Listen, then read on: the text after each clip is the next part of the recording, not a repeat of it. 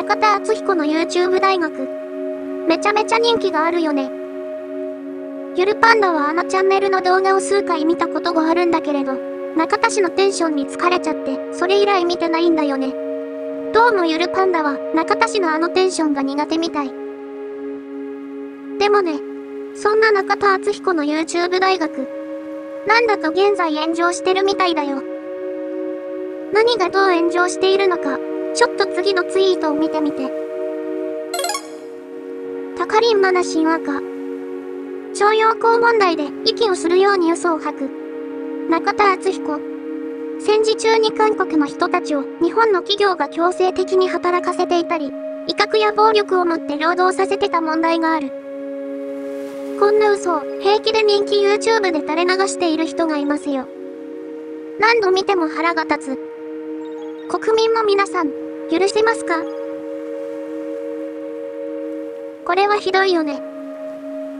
中田氏は影響力がある方だけに、こういった間違った情報を真実のように流してしまえば、嘘の情報を鵜呑みにしちゃう人が出てくるからね。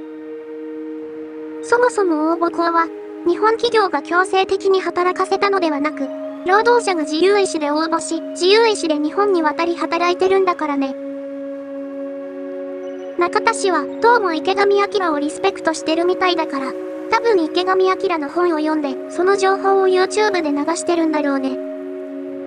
そもそも池上彰自体が信用ならない人物だから、その方の本を引用したのなら当然こうなるよね。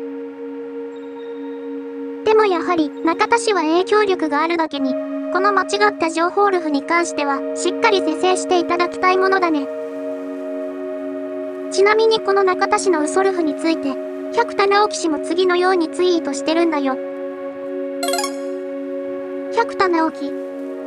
こいつ、どんなバカな本を読んでるのか、それとも誰かに吹き込まれてるのか、あるいはあえて炎上させて、再生回数アップを狙ってるのか。いずれにしても、ろくな人間ではないことに間違いない。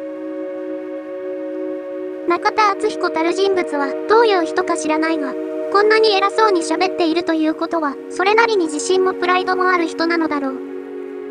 そういう人は自分の間違いを認めるのが嫌で、今後徴用工問題に関しては、持論を補強するため、売国学説を取り入れて、ますます反日に走るだろう。